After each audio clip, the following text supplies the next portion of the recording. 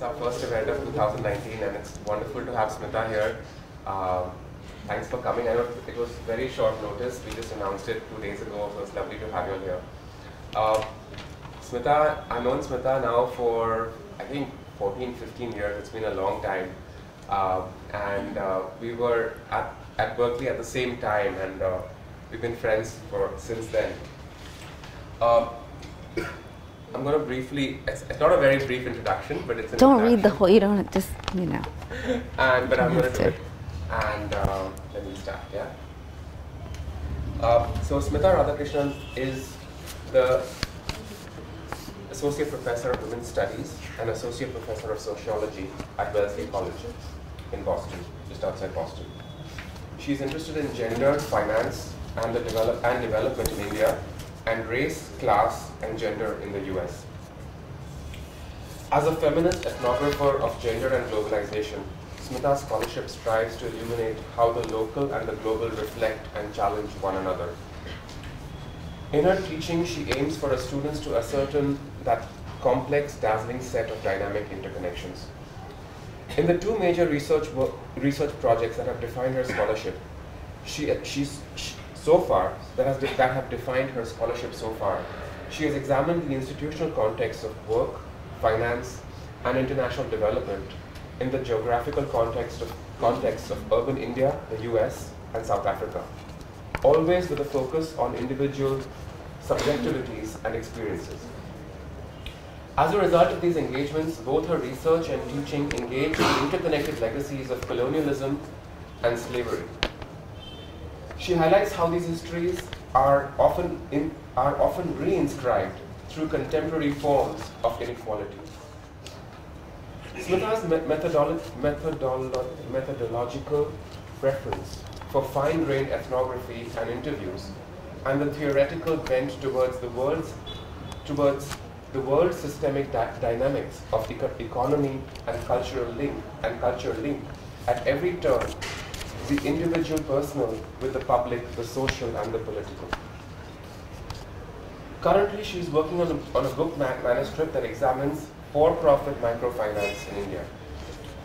Her first book, appropriately Indian, Gender and Culture in a Transnational Class, was a, multi, was a multi-sited ethnographic examination of transnational Indian information technology workers, IT workers. Her research showed that gendered arrangements within educated, upwardly mobile IT families give this elite group disproportionate power in defining what it means to be Indian in the global economy.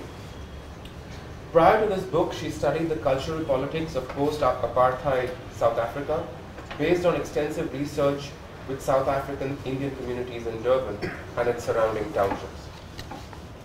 At Wellesley, teaches courses that examine globalization, race, gender, and diaspora studies, among other topics. In 2014, she taught, uh, she created these uh, online courses called MOOCs, uh, or is it MOOCs? MOOCs. it's an abbreviation, so it doesn't matter, I guess. Uh, and it was released in 2016 in three modules. Uh, you can watch them online, and they've been hugely popular online. Uh, global sociology, global inequality, and global social change. When she is not teaching or writing, Smitha performs and promotes classical and contemporary Indian dance forms, especially Bharatanatyam. She's been a long-term member of Navrasa Dance Theatre and continues to dance with them and serves on their board. In her free time, being so passionate about dance, she established Natya Dance Studio in Natick where she lives, through which, which she offers weekly classes for children and adults and performs locally. And she's got two young kids who keep her busy when she's not doing other things. Thanks, Vita, for coming and sharing your work with us. Thank you, Kashu.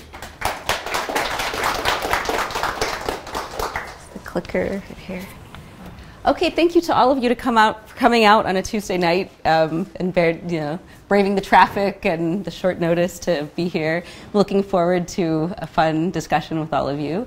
Um, this talk is an effort to put together kind of two of my big research projects, one on gender and IT and one on microfinance, and kind of put them within a shared frame. Um, although my research touches upon other, India, other areas, this is very much an India talk. Um, so I look forward to your feedback and, uh, and the discussion that we're going to have. And because of the size of the crowd, I hope that we can have lots of interaction. Okay, so um, the title of the talk is Rethinking Empowerment Gendered Work in India's Polarized Service Economy. But I want to start out by asking all of you what in 2019 does women's empowerment mean to you? What comes to mind? What are the connotations that you have? Uh, there are some uh, people who are a little exhausted by the topic. Is anyone just sort of tired of hearing about it? Just a little bit. You can be honest. No one. No one's tired of it. I mean, it's, it's like kind of it's not so easy to interpret. You know. I mean, yes. More, more, not much of the common types. Like, okay. It's not much of a. The common types that we can you know just at, at one. Yeah. So you, you kind of hear it a lot, but maybe we're not quite sure what it means. Maybe it's kind of you know dips in and out of the public sphere, um, right? So it's this kind of like. Uh, ill-defined thing that everyone says that they want maybe what are some other associations whether positive negative me Too. Okay, so the Me Too movement kind of brought this notion of empowerment um, back into the public sphere where maybe it had been hidden for some time, right? And so, and specifically on issues of gendered violence and harassment. Um, what else? What other associations do you have? Art. Positive, huh? Art, the Ha- way art has changed the perspective of women. Like, Yeah. either of them, like, if she chooses motherhood, we'll also question that, that is that empowerment. And if she chooses a job, we question it. And now we do not know. So ultimately, it's if she wants to do whatever she has to do. Okay, that's a great point, right? So especially between work and, and, and home, right? This kind of division. Um, we're going to talk. I'm going to talk a lot about that, but I've been thinking about that a lot, you know, like my whole career, um, right? But in some way, we've kind of resolved it to say, oh, well, women's empowerment means women just have choices. So if they have choices to do whatever they want, well, then that's empowerment, right? So that's maybe one interpretation. Anything else? What else?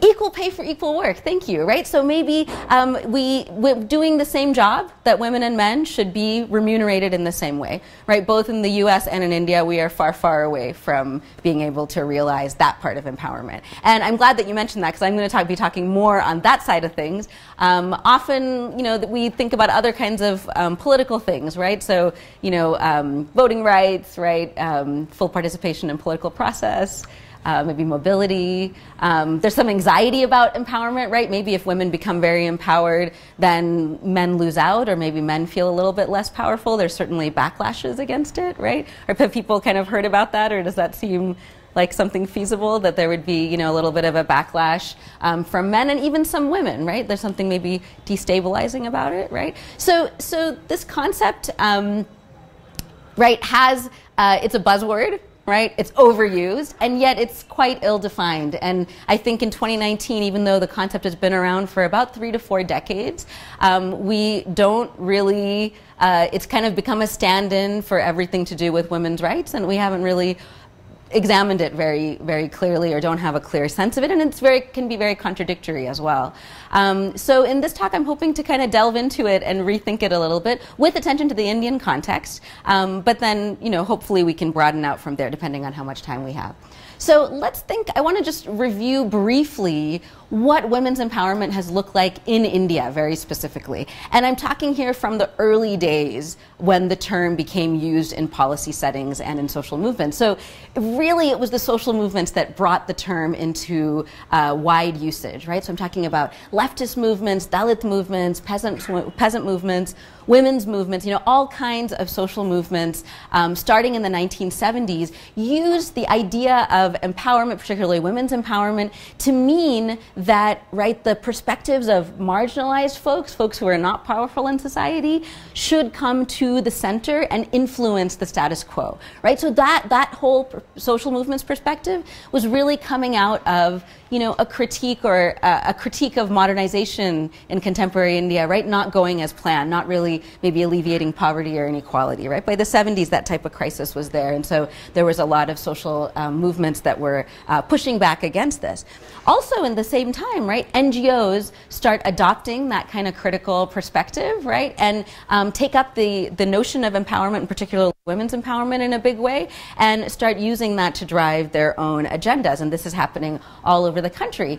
And around the same time, right, and this, this is happening not just in India, but in other parts of the world as well. So at the same time, um, you have INGOs, right, IGI, like the World Bank, right, other big international organizations that start crafting more hegemonic, more dominant, more powerful programs that are coming from the outside and encouraging places like India, various countries in Latin America, in uh, different parts of Africa, right, to craft programs that are geared towards women's empowerment. So suddenly you see all these different actors, some of them not so powerful, some of them very powerful, that are all pushing the same agenda, right? And so that term, which was supposed to be about critiquing, ends up being promoting something that, that seems like it has a lot more power behind it. Could be good, could be bad, right? Finally, starting in the 1980s, the Indian government itself, at various levels, starts taking up empowerment as an official thing that it does. So the anthropologist Aradhana Sharma, who's written this uh, brilliant book, Logics of Empowerment, it's, a, it's a, about 10 years old now, but I still think very highly relevant. She studied, uh, did an in-depth ethnography of the Mahila Samakhya program, which some of you may have heard about. Right, so she dates the, the, the start of kind of official state-led women's empowerment to about 1984. In Rajasthan, there was something called the Women's Development Program that got going at that time, and Mahila Samakhya and other state-led programs kind of came out of that, right? So um, we that's how long, at, at, least, right, the recent history of women's empowerment in India, kind of, you know, all of these different players have been a part of it, and certainly this and many other uh, kinds of activism have produced a number of really positive changes in India that we can see, right? We see a lot more women in political office and in public life, and this has to do with political changes, legal changes as well, um, mandating the presence of women in large numbers in India. Um, and then, you know, today back to the, the Me Too, um, you know, shout out, we have greater awareness, particularly of various forms of gendered violence in India, you know, more visibility of women speaking out against all of these things, right? So all of these things are unmistakably uh, important advancements, right, and have furthered our discourse and our understanding of, uh, of women, right, and, and how women sort of taking their full place in society, right. But there's been a silence in all of that, and that has to do with work, women's in the women in the workforce, right. So some of you might be um, familiar with this kind of disturbing graph, right. So this graph is from uh, the world. It's really from NSSO data. Um, National Statistical Survey data, and it traces women's uh, labor workforce participation from 1990 to 2016. So it's actually the same time period that you have the growth of these um, empowerment programs and a few other things I'll talk about in a second, right? And then you see this historic low coming in 2012. Pick, picking up a little bit. Today in 2017, we're at about 27.1%, which is 163rd in the world. Um, and, uh, you know, for context, Rwanda is at the top at about 84%, Yemen is at the bottom at about 6 So 27% is, is pretty low by global standards. Um, and, you know, raises some questions about, you know, what, what's going on in India, right? There's been so much success, so much, uh, you know, expansion of our thinking about women's empowerment, and yet, you know, this is what's going on in the workforce. How can we um, start to think about that? So, sure, yeah. So that is what percentage of women who are available in the workforce are actually engaged in paid work. So it includes informal work. It includes the in informal workers as well.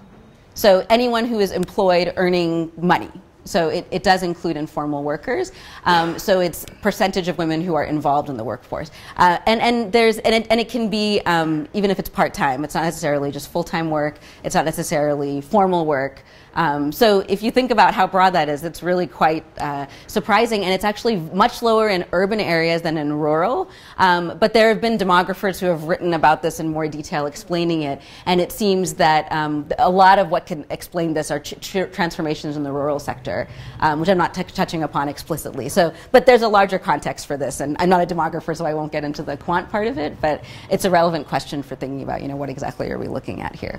So another context which is really important to think about during this period is the rise of the service economy, right? So what do I mean when I talk about the service economy? I'm talking about an economy that is largely driven by services rather than the making of stuff, manufacturing, rather than agriculture right? Now, um, in the US, this transformation has been very clear and very pronounced and very dramatic and very well documented. We went in the US from an economy where most jobs were like this, right? And the middle class could have a stable career working in manufacturing, um, to an economy that is quite different, right? Dominated at the top by tech and finance, particularly, um, to a lesser extent, you know, healthcare um, and you know other kinds of sort of tech jobs. These jobs require right high levels of education, high levels of professional credentialing, um, are not uh, available to everyone. Right, it's difficult to br- break into these careers. And on the other end, right, a huge expansion in very low wage feminized service work, right? Retail sector, also a huge expansion in personal services, things like that. Now, India is not the same, obviously, right? I mean, we have a lot of agriculture in India, we have a lot of uh, manufacturing in India that's very important, but we have still had this dramatic rise in the service sector, which is polarized, right? So you have in India, right, um, tech and finance jobs uh, kind of fueling the, uh, the upper end of the economy, right? Lots of wealth at the top. Very hard to, uh, you know, you need a lot of credentials to break into that in a big way. Um, and then at the bottom, right, an expansion of feminized work, everything from, you know, domestic work and various kinds of personal services to, you know, things like retail. So as in the US, the lower end, there's not lots of opportunities for advancement necessarily. Um, there are lots of those kinds of jobs, but they're not necessarily going to be producing right long-term um, advancement, long-term careers, right? So, you know, despite the differences in the U.S. and India context, I think it's safe to say that we do have an expanding um, and a dramatically visible service economy in India, and one that deserves thinking about through a gendered lens. Now, in the Indian context, this same transformation has had a set of promises, I would say, for what they would bring women right? So the tech sector, right, was supposed to bring, especially middle class women, new opportunities in terms of advancement, right? It's a clean workplace. You could go there and be safe, right? And, and this is still the kind of um, thinking that pushes a lot of families to encourage their daughters to study engineering, right? You can go into IT. Um, it's a good job. You'll get a good income. You'll be safe in an air conditioned, clean workplace, right? These are all things you can have professional advancement within that. So it seemed to uh, offer new opportunities for women who had conventionally been quite uh, restricted to uh, their domestic roles. And at the bottom, the expansion of microfinance in particular promised that working class women, women at the bottom, would also have um, expanded opportunities um, in the form of microenterprises, right? That they would start their own small businesses, um, you know, lift their families out of poverty, et cetera. So now I want to look a little bit at my research in both these areas and share some of the trends uh, at kind of at the top end and then at the lower end and see if we can look at uh, the comparisons between them. All right, so um, what I'm going to argue is that both of, in both of these um, sectors, right, that women's empowerment in the service economy, in a polarized service economy, has been shortchanged because both at the uh, upper end and at the lower end, women's unpaid and underpaid domestic roles are reinforced uh, at both ends, undermining women's positions in the workforce and compromising anything like women's empowerment that we might say, right? And so I want to talk about exactly what that looks like. Okay, when I started doing this research in the early 2000s, there was a spate of insane images, right, that really spelled out the fantasy of Indian women entering the IT workforce, right? So this is a cover story by Daniel Pink uh, at Wired magazine, a very popular U.S.-based magazine in 2005. I spotted it like standing in line for the gro- you know grocery store, um, and this woman uh, is featured in the article. Through coincidence, I ended up being able to meet her and interview her for my research. Right, uh, this is another image, right, uh, that uh, came out in 2006.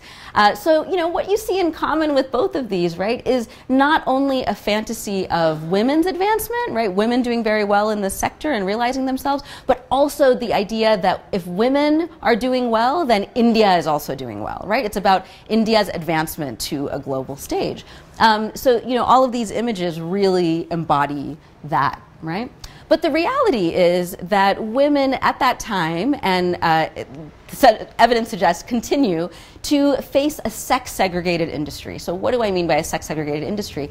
When we think of IT as a whole, right, that characterization really conceals all the different sectors of the industry. And within the industry, some work is considered women's work and other work is considered men's work. So, if we look at human resources, technical writing, um, quality and quality assurance work, all of those kinds of work are uh, paid a little less less opportunities for advancement, right, and are dominated by women. Whereas product development work, management, strategic thinking, all of those areas dominated by men, right, and are considered much more valuable to the firm. And I can give you some more detailed statistics about how that looks like um, in different companies. Um, to date, there's been very little written about that. When we talk about women's advancement in IT, there's always just sort of a summary of how many people are entering the industry, and at this point, it's about 51% of uh, new recruits are women. When I did the research, people said 50%, so it hasn't changed very much. I just looked at the data, and it's 51 now. Um, but the, it's a very leaky pipeline, right? So you get to the top, and you're in the single digits. So something is happening along the way. It's not about recruitment. There's something going on within it. But the problem is much more, uh, is, is much deeper than that because in that process of advancement, even the women who say are sorted into less valued parts of that industry, right? So despite this promise of advancement, right, women who enter the industry face surprisingly low odds of long term advancement, right, for various reasons. Cultures within the workplace as well as cultures outside of the workplace, pushing them in both directions in ways that end up not being amenable to their advancement. Um, one of the key findings of my research is that women um, in these positions are still very much expected, both by their workplaces and by their families and communities, to put their families before their careers, which includes migration, which is still male led largely, right? So, um, and a shout out there's a recent book written by um, Amy Bhatt called High Tech Housewives that looks at the structure of H 1B migration to the US, right? And even that visa structure requires a breadwinning man and a housekeeping woman, right? There has to be one main worker and one person who's not going to work in order to even get that visa going, right? So women end up planning out their careers in a way that they will, if they want to get married, take a back seat to their husband's career. They plan that from the outset. They expect it, right? And then therefore, uh, and then they may encounter some dilemmas later, right? But they're already setting themselves up for, um, you know, low odds of actually advancing within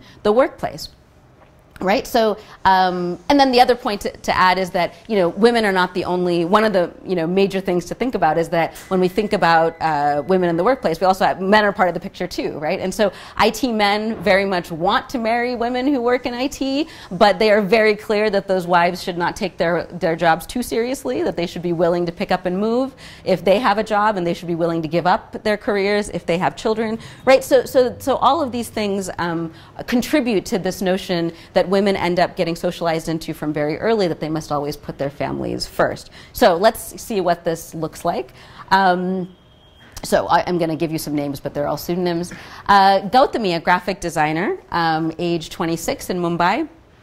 Uh, so she's 26. She's not yet married when I meet her, and I'm asking her about her. She's a technical writer, and she's oh, she's a graphic designer. Sorry, um, that's also another area that's quite dominated by women. Um, and I asked her, you know, so where do you see your career? Where do you see yourself in five years, ten years? You know, what, uh, how does, what do you, how do you see your future? And she says, you know, around age 30, 35, 40, when you're rising up the ladder, I think I'd prefer to settle down with my family and my husband because ultimately it's your family for whom you're doing it. And if they're not happy, uh, it really doesn't make any difference. And it's better that you spend time with them and make them happy rather than earning money and money and money and nothing else, right? So here you see a kind of gendered logic of work where uh, making, uh, working is only about earning money and it's not okay for women to only want to earn money, right? And she's figured all this out before she's even encountered any of the tough choices about marriage or motherhood and is articulating to me is it her choice perhaps but she's also articulating a discourse uh, about morality right? About what's expected to her what it means for her to be a good woman and what she expects to do in her life in order to make that happen right? Um, okay on the other end right? Here's an example of Malini, little further down in the workplace. This gives us a sense of what's it like within the workplace, right? So that's pressure outside that's being internalized. What about pressure from within? So she says about her workplace, I know they don't like it when a woman's in their face. So you've always got to tone down the way you say something. There's a special amount of feeling attached when a woman opens her mouth and is brazen. Uh, they expect you to be a little womanly, but I've never really seen any overtly sexist attitudes either. Our common thought is that women don't really want to be around, that they have many other things that keep them busy. Right? So she, again, hasn't had children yet, right? Is climbing up the ladder and is, you know, sensing that there are certain ways she can talk, that there are certain ways she can be ambitious, and certain ways that she can't be right? Um, from the very beginning. So, okay, so that's what's going on among women who are in the pipeline. There are also on this side policymakers who are, you know, promoting gender diversity policies, let's say. I did this research kind of at the dawn of gender diversity policies, um, and so I know now you were saying you're working actively in that field, and they're much more common now. Um, but when I was working, you know, the, I was starting to interview some of these um, chief diversity officers, uh, those kinds of folks, to get their um, thoughts. And so, and and this strange thing happened, which is that a lot of diversity officers, a lot of um, program program um, leaders, program leaders who are really uh, tasked with getting women to uh, be more engaged in the workplace throughout their careers, they end up oddly blaming the women for not making the right decision, right? So it goes back to this thing of women's empowerment just being all about choice, right? And that women should just make different choices. The, if they don't make good choices, it's their fault, right? So she says, the problem with Indian women is that we've never been independent in our life, right? It's easy to frame policies. We have them all you name it one year sabbatical childcare, childcare sabbatical, part time, flexi time, daycare. But the major mindset that we need is only from the women. Most of the time, they're confused. If they don't want to bring a change and participate in the activities that you create for them, then the change never happens right? So there's this way in which all the policies, and there's more to say about the policies, I can talk about them if folks want. Many of these policies were imported from Western, from American multinationals, and there's a sense in which there, there's an ambivalence, like we need the policies, it's not, I don't know if it works for India, right? And so there's a way in which they kind of blame the culture, blame the women, and say, yeah, we're just doing everything they can, they have to figure it out right? Very odd contradiction, right? That the very women who should be championing the, you know, women to sort of stay engaged throughout end up turning it around in this way. And this was uh, something that I encountered quite a lot. Okay, so that's kind of a thumbnail sketch of the upper end. Let's turn our attention now to the lower end. So there's a, there's a fantasy about microfinance too, right? Many of you may have heard it. It goes something like this. A woman gets a loan, she starts a small business, she uh, makes a little more money, uh, maybe uh, makes her household solvent uh, because her drunken husband was messing it up, right? The kids go to school, everyone gets to be a little bit better off, and then development happens. How many people have heard this fantasy? A little bit everyone. Wow more folks than had heard of women's empowerment. Okay fantastic. Right so so this indeed is a fantasy right? Um, and uh, what i found in reality and there's lots of literature that supports this right is that microfinance clients um, gain access to loans because of their status as mothers. And they gain access to those loans because they are better financial risks because they are in a family right? And all the research that I did, I only found one instance in which a woman who was not a mother was able to gain access to a loan. It is their position as mothers in families that gives them access to the loan because they are perceived as more stable and better financial risks. So let me give you some context for thinking about this. Who are microfinance clients? We think of them as magical entrepreneurs, folks who are going to take this loan and pull themselves up by the bootstraps right? Entrepreneurship, as it turns out, most of us middle class folks, right, wouldn't want to be entrepreneurs ourselves because it's really hard work, right, to rely entirely on your own earnings. And as it turns out, working class women would, uh, most of them would prefer not to do that uh, either. They are domestic workers, factory workers, agricultural workers, and they rely upon a husband's wage, at least in theory. So in all the research that I did, and when I observed things like document collection, right? Um, women, if they're about to take that group loan, we always hear that it's a group collateral and they all back each other up. But when you they actually fill out the paperwork, they have to write their husband's name, they have to get their husband's permission, they have to put down their husband's income and his uh, wages, right? And that is like their guarantee, actually, right? So if they're not individually um, connected to a man's salary, that man might be useless and might not. I mean, maybe he's not always right. I mean, that that's also a stereotype. But right, if he if she's not connected, she doesn't get the loan either, right? Um, so uh, they are using microfinance as one additional income source, one additional little strand within uh, their livelihood, right? Very few of them are entrepreneurs. Um, only the really savvy ones, the really risky ones, maybe ones who have already been entrepreneurial in the past, who are willing to um, deal with failure a lot, who are aware of multiple state schemes and are able to take advantage of all of them and piece them together. Those folks are entrepreneurial, right? And some of the ones who are most are actually the ones who are a little better educated, have a little bit more support, can afford to fail and put that money back into another uh, business, right? It's not this kind of small scale fantasy, which, if we examine more closely, it makes sense that that's probably going to be hard to do, right? It's a huge burden to take. From a 10,000 rupee loan, can you start a business that will sustain a family, right? Really difficult with a very high interest rate where you have to pay back every month, right? Um, so these are very tough terms. So what I, you know, draw from this and sort of the way it relates back to this talk is that access to these loans can end up actually trapping women in low wage work permanently. The pressure to pay back that loan at every two weeks or every month, right? Um, there's really not a lot of opportunity to build up a serious business or to do anything really, um, you know, transformingly significant. There's not, there aren't necessarily education loans for them to upgrade their skills. They're not really able to break out of that particular, you know, we think that somehow the loan will help them break out of a cycle, but there's not, there's very little opportunity um, to do so, right? And in some cases, it can even trap them in debt cycles where the taking and repaying of loans in itself becomes a kind of livelihood strategy, right? So you take loans from here, you pay them back over here, sell a couple of saris, take, sell one more thing, right? So, and, and so let me give you an idea of what that that might look like.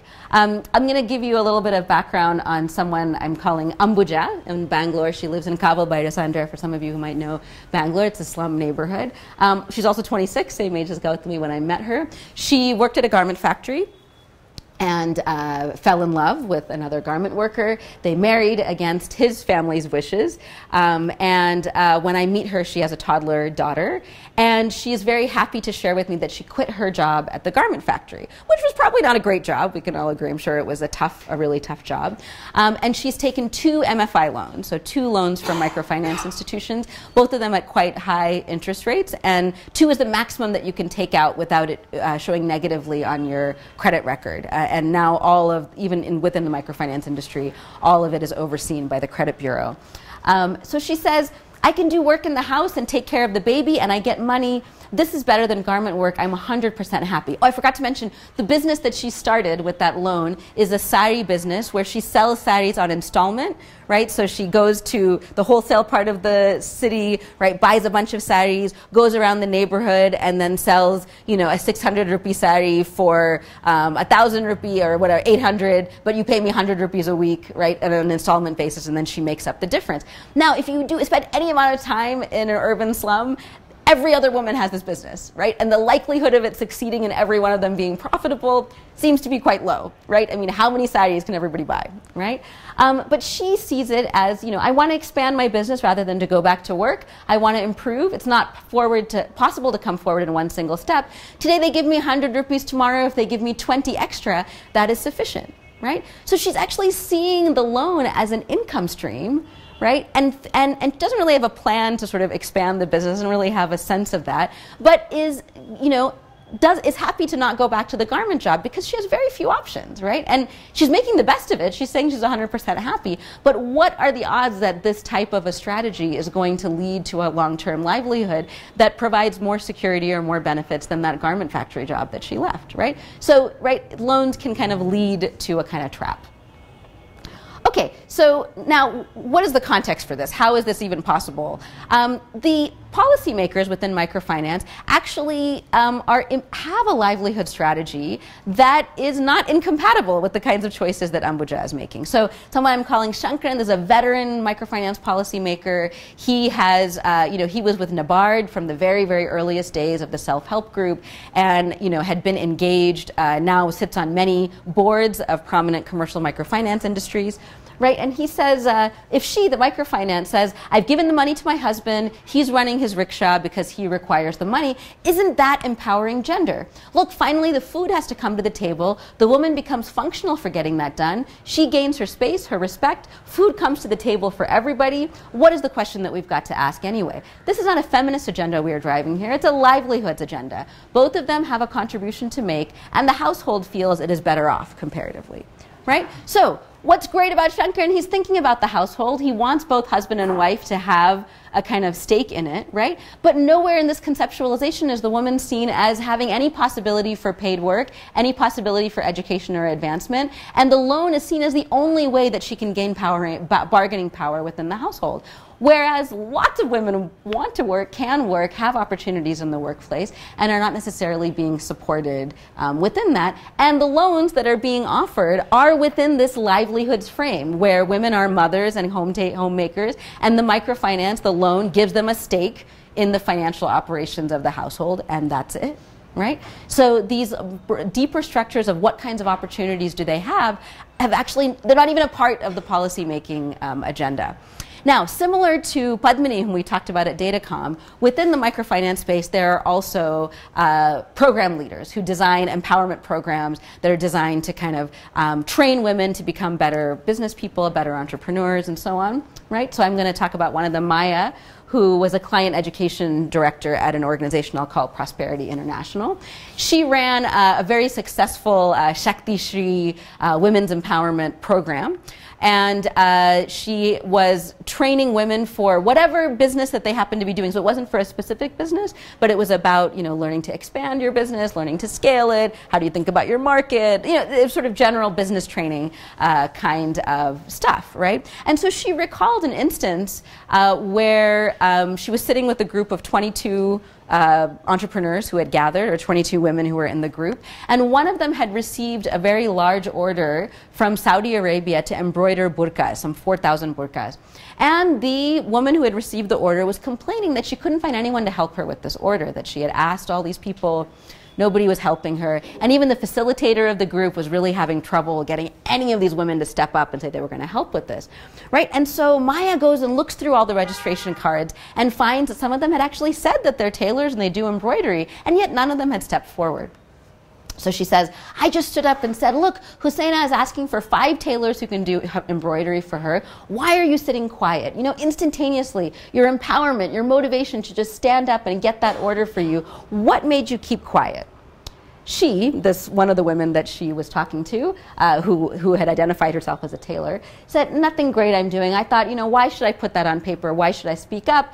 And then I realized, this is uh, Maya speaking again, you know, they're shy to disclose their identity as an entrepreneur, right? So she kind of, and she goes on at length, I just took a little segment of the quote, but she goes on to imply that, right, the reason that women are not taking up the opportunities that are being offered to them is because they're, you know, they're sort of too shy, they're not, they're not realizing their capacity, they're not good workers, they're not, we're offering them all this great stuff and they're just not taking it, right?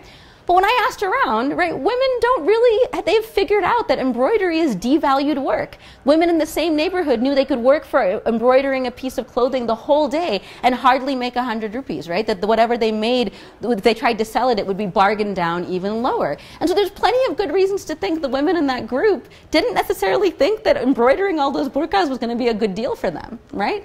Um, so there's a real like sense that among the people who are supposed to be empowering them, that there's a which that blame gets shifted to the women themselves rather than dealing with the conditions um, and the real situations that women are navigating within that. So, another kind of interesting parallel in both places.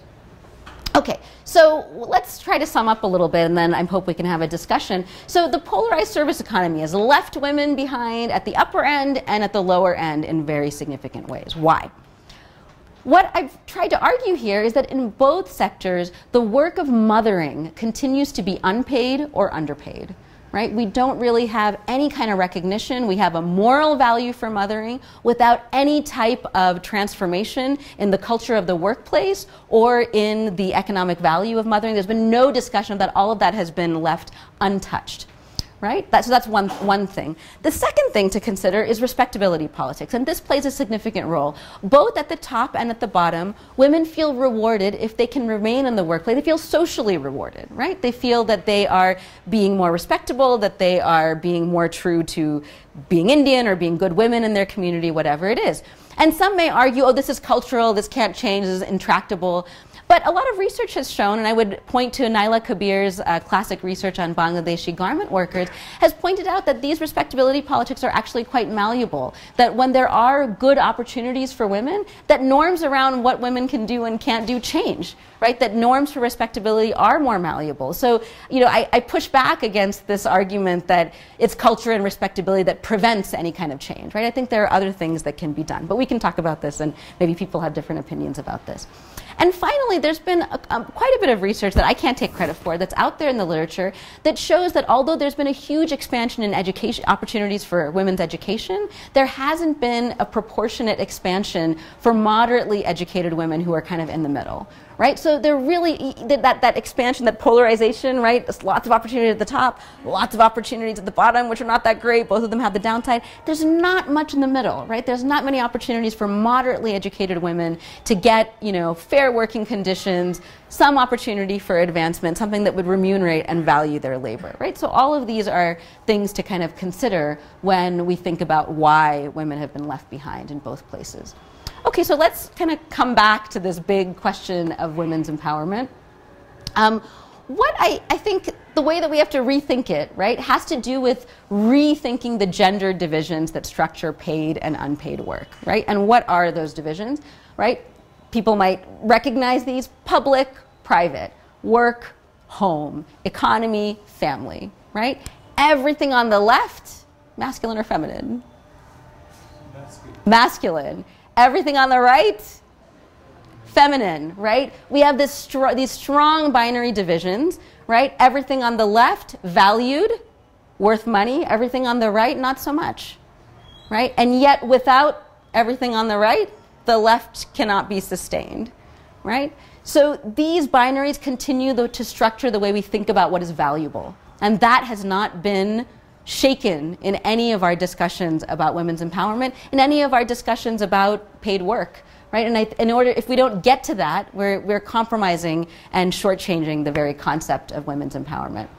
Um, in both women's empowerment discourse and praxis has tended to overlook women of all class positions, but I've focused on kind of opposite ends, but I would argue all women's, all uh, class positions, equal access to the labor market. And that's something that, you know, a lot more work and thinking can be done about.